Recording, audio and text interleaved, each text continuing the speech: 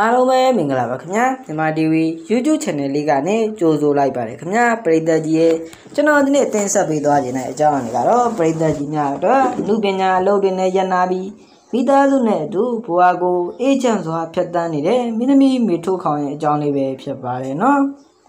ပရိသတ်ကြီးတရုတ်ဆောင်မေထိုးခေါင်ကတော့တစ်ချိန်ကဗီဒီယိုစကားတွေရိုက်ကူးခဲ့ပြီး ပရိသတ်တွေရဲ့အားပေးချစ်ခင်မှုကိုရရှိခဲ့တာလည်းဖြစ်ပါတယ်နော်တရုတ်ဆောင်မေထုတ်ခေါင်ကတော့